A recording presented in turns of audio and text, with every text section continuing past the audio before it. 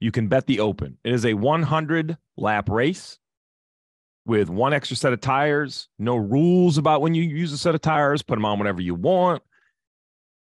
Lap 40, there's going to be a yellow. We know that. And they're going to take the top two. That's important now. Listen for the listeners top two.